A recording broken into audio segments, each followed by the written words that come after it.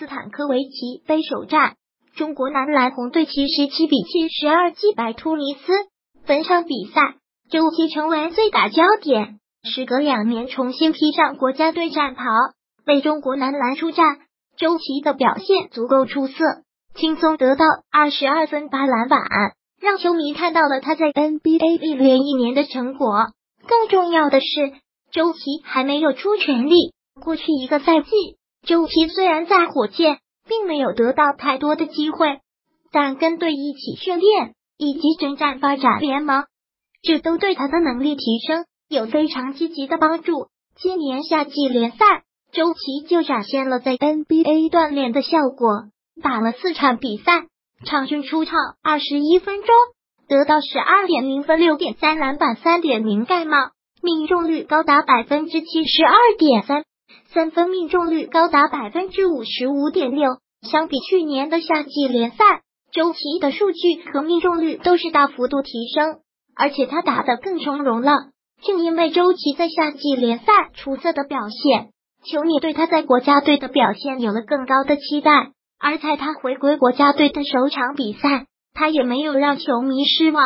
与二十二分八篮板的数据相比，周琦在场上展现的统治力才是最令中国球迷高兴的。本场比赛，周琦在场上就是独具一档的存在，既能在外线稳稳命中三分球，也能在内线肆虐篮筐。篮下终结能力非常强，从周琦进攻端的表现就能看出，他从 NBA 归来后提升真的太明显了。如今三分球已经成为周琦的常规得分手段，而且较之前在 CBA，他的出手速度有了很大的提升。而在篮下，以往被诟病最多的对抗能力，现在周琦也是脱胎换骨。本场比赛。周琦在一次进攻中摘下进攻篮板，顶着三名防守球员就是一记暴扣，出色的对抗能力可见一斑。在挡拆和无球跑动方面，周琦的意识也大大加强，而他擅长的防守，随着移动能力的提升，他防错位的能力也进一步提升。如果说以往周琦在 CBA 和国家队更像是一名蓝领的话，那么如今他已经可以承担领袖的重任了。